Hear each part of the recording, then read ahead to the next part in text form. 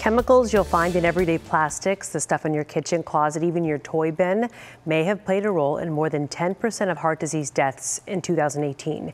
That's for both men and women worldwide, according to a new study. So phthalates are often called everywhere chemicals because they are. They're found in food packaging, clothing, furniture, even toys, and your home's plumbing. Sometimes they're even added in detergents, cosmetics to make fragrances last longer. Phthalates can inflame your arteries, which speeds up heart disease. Exposure can come just from breathing them in. So, what can you do? There are some easy steps to cut down your exposure mitigate them. So store food in glass containers, not plastic. Use unscented detergents and lotions, really just about anything. Uh, go for fresh fruit, not canned ones. And you can wash your hands often, especially before eating, since we're touching all of that.